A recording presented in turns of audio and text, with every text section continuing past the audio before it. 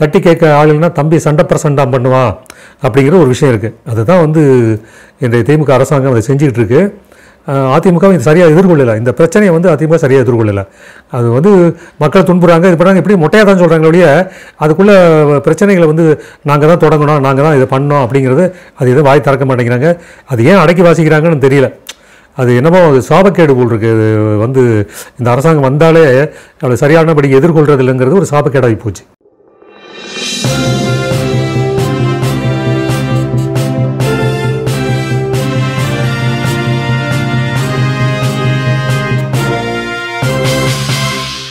இதயகினி TV நேர்கள் அனைவருக்கும் இதயகினி விஜயன் வணக்கம்.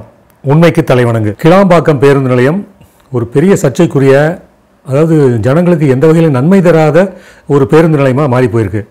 அது அரசாங்கம் வந்து ஒரு திட்டம் வகுக்கும்போது அது வந்து ஜனங்களுக்கு இது தொல்லை இல்லாமல் ஜனங்களுக்கு சௌரியமாக இருக்கிற மாதிரி திட்டம் வகுக்கணும். அதுக்கு வந்து திட்டம் போடணும்.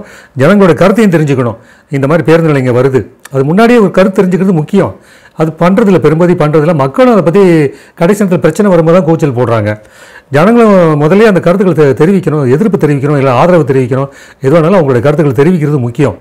அதாவது அதிமுக ஆட்சி காலத்தில் தொடங்கப்பட்ட பேருந்து நிலையம். கிட்டத்தட்ட எண்பது பெர்சன்ட்டுக்கு மேலே. அது வந்து ஓரளவுக்கு இது தயாராகிடுச்சு அந்த பேருந்து நிலையம்.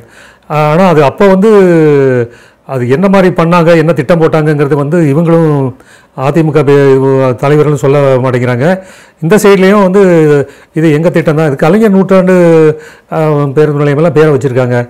அது ஏன் இப்படி அலைகிறாங்க தொடங்கினது அதிமுக. வைக்கிறது கலைஞர் பேர்.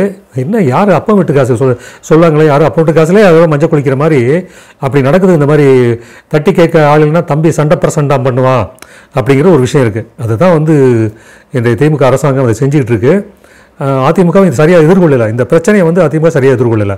அது வந்து மக்கள் துன்புறாங்க. இது பண்ணாங்க இப்படி மொட்டையாக தான் சொல்கிறாங்க ஒழிய அதுக்குள்ளே பிரச்சனைகளை வந்து நாங்கள் தான் தொடங்கணும் நாங்கள் தான் இதை பண்ணோம் அப்படிங்கிறது அது எதுவும் வாய் திறக்க மாட்டேங்கிறாங்க. அது ஏன் அடக்கி வாசிக்கிறாங்கன்னு தெரியல. அது என்னமோ அது சாபக்கேடு போல் இருக்குது வந்து இந்த அரசாங்கம் வந்தாலே அதை சரியானபடி எதிர்கொள்றது இல்லைங்கிறது ஒரு சாபக்கேடாகி போச்சு. அதாவது கோயம்பேடு பேருந்து நிலையம் எம்ஜிஆர் பேருந்து நிலையம் எம்ஜிஆர் பேருந்து நிலையம்னு சொல்லி அது வந்துகிட்டு இருக்கு அது வந்து தாங்க முடியலையா? இல்லை அது வந்து அந்த அப்படி வந்து விளம்பரப்படுத்துறது வந்து இவங்களுக்கு பிடிக்கலையா? அது என்னங்கிறது தெரியல. அது வாயால் சொல்ல முடியல. ஏன்னா எந்த எந்த பே பேருந்துலையும் பார்த்தாலும் நகர்ந்துக்கிட்டே இருக்கும். அந்த டிஜிட்டல் இது வந்து பேர் வந்து எம்ஜிஆர் பேருந்து நிலையம்.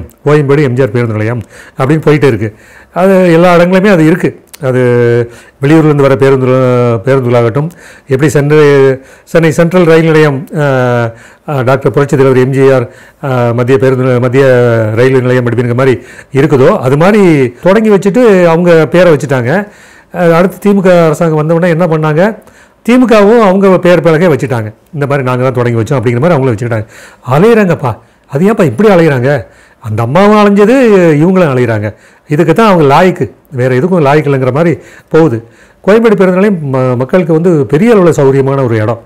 ஏன்னா அங்கேருந்து விமான நிலையம் போகிறதாட்டும் சென்ட்ரல் ரயில் நிலையம் போகிறதாட்டும் அதாவது எம்ஜிஆர் ரயில் நிலையம் எழும்பூர் ரயில் நிலையம் போகிறதாட்டும் எல்லாத்துக்கும் வந்து ஒரு சரியான ஒரு இடமா இருக்குது கோயம்பேடு பேருந்து நிலையம். அதை வந்து பிரிக்கும்போது சரி கிளாம்பாக்கம் பேருந்து நிலையம் நீங்கள் தொடங்கிட்டீங்க கட்டிட்டீங்க முடிச்சிட்டீங்க செலவு பண்ணிட்டீங்க. அவ்வளவு செலவுகள் தேவையே இல்லை. இது வந்து கொஞ்சம் அந்த இடமே இருக்குது கோயம்பேடு பேருந்து நிலையத்தை ஒட்டி மார்க்கெட் இருக்குது அதாவது அந்த மார்க்கெட்டு பகுதியிலே பெரிய இடம் வந்து காலி இடம் இருக்குது. அதில் கொண்டு வந்திருக்கலாம். அதில் வந்து டெவலப்மெண்ட்டை கொண்டு வந்திருக்கலாம்.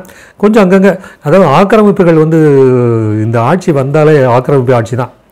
எங்கே பார்த்தாலும் ஆக்கிரமிப்பு. அதை ஒழுங்குபடுத்தினாலே ஒரு போக்குவரத்து பிரச்சனை இருக்காது ஒன்றும் இருக்காதுங்க.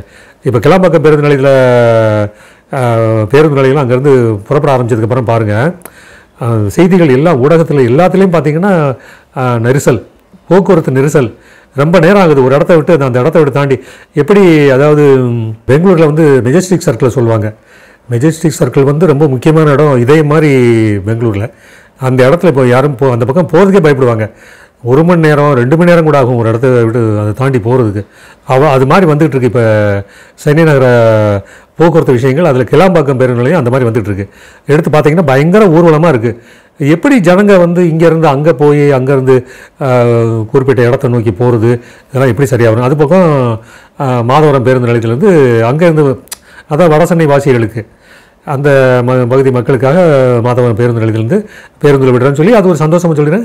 அந்த பேருந்து நிலையம் அதை வந்து பஸ்ஸை தொடங்கி வைக்கிறதுக்கு டாக்டர் கலைஞர் புகழ் வாழ்க டாக்டர் கலைஞர் புகழ் வாழ்க. என்னங்க என்ன நினச்சிக்கிட்டு இருக்காங்க? இவங்க என்னதான் நினச்சிக்கிட்டு இருக்காங்க? அதை தான் சொல்கிறேன் இது இது வந்து எதிர்கொள்கிறதுக்கு வந்து சரியான ஊடகங்கள் இல்லை சரியான கட்சிகள் இல்லை எல்லாமே துதிவாடி கூட்டமாக இருக்குது கிளாம்பாக்கம் பேருந்து நிலைய பிரச்சனைகளை பற்றி சொல்கிறதுக்கு எதிர்க்கட்சிகளே இங்கே சரியில்லை. ஏடிஎம்கே விட்டுருங்க. மற்ற கட்சிகள் என்ன பண்ணுது? மக்களுக்கு கவலைப்படாத உங்களுக்குலாம் எப்படி வெக்கம் கட்டத்தனமாக ஓட்டு கேட்டு வர்றீங்க நீங்கள் உங்களுக்குலாம் வெக்கமான சூடு சொல்லணே கிடையாதா? ஆ? மக்களுக்கு பயன்படாத இந்த கட்சிகள்லாம் எதுக்கு? இப்போ எல்லாத்தையும் கழிச்சு போட்டுக்கிட்டால் போங்க. இதெல்லாம் வேஸ்ட்டு நீங்களாம் இருக்கிறதெல்லாம் வேஸ்ட்டு ஜனங்க யோசிக்கணும். இவனுக்கு வந்து பார்த்தீங்கன்னா டெய்லி கூட்டணிக்கு வந்து எத்தனை சீட்டு கிடைக்கும் எத்தனை சீட்டு இது இது ஊடகங்கள் இது வேற போட்டுக்கிட்டு. இத்தனை இது ஹேஷியமாக இருக்குது இத்தனை பேர் கொடுக்க போகிறாங்க இத்தனை சீட்டு கொடுக்க போகிறாங்க இது ஒரு கணக்கு. ஒரு வெங்காயமும் கிடையாது ஒரு விளக்கெண்ணையும் கிடையாது ஒரு பிரயோஜனம் கிடையாது இவங்களால். இவங்க வந்து பேசிக்கிறாங்களா? இதை தாங்க சுட்டி காட்டணும் இதை சுட்டி காட்டுறது தான் முக்கியம். அதை விட்டுட்டு தேவையில்லாதெல்லாம் பண்ணிகிட்டு இருக்காங்க. இது வந்து லூலு சூப்பர் மார்க்கெட் வரப்போகுது அப்படின்னு சொல்லி அன்புமணி ஒரு எச்சரிக்கை விட்டார். நீங்கள் அந்த மாதிரி வந்து தனியாருக்கு ஏதோ இந்த இடத்த வந்து கொடுத்தீங்கன்னா அது பெரிய போராட்டமாக வரும்னு சொல்லிட்டு பாமக தலைவர் அன்புமணி சொன்னார். உடனே பல்ட் அடிச்சிட்டாங்க ஐயோ வெளியே வந்துருச்சு மேட்ரு அப்படின்னு பல்ட்டி அடிச்சிட்டாங்க பசுமை பூங்கா வைக்க போகிறாங்களா ஜனங்களை வெளியே துரத்திட்டு நீ பசுமை பூங்கா வச்சு வந்து யாருக்கு என்ன நன்மை? யாருக்கு என்ன பிரயோஜனம்? எந்த பிரயோஜனமும் கிடையாது. ஒரு ஒரு யூஸும் கிடையாது. புண்ணாக்கு தான். ஒன்றா கூட யூஸ் ஆகும். இனி எதுக்கும் லாய்க்கு இல்லாத ஒரு அரசாங்கம் ஒரு மந்திரிங்க வே வேஸ்ட்டு இது இது என்னென்னா பெரிய மருத்துவமனை.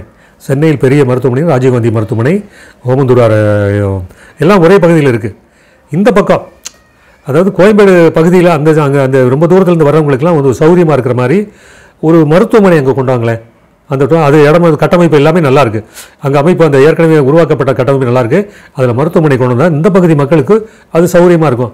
அது நீ என்ன என்ன பேர் வேணால் வச்சுட்டு போங்க. எம்ஜிஆர் பேர் வைச்சா தானே உங்களுக்கு வந்து கண்ணை குத்துது. அது உங்கள் ஏன் உங்களை இடிக்குதுன்னு தெரியல.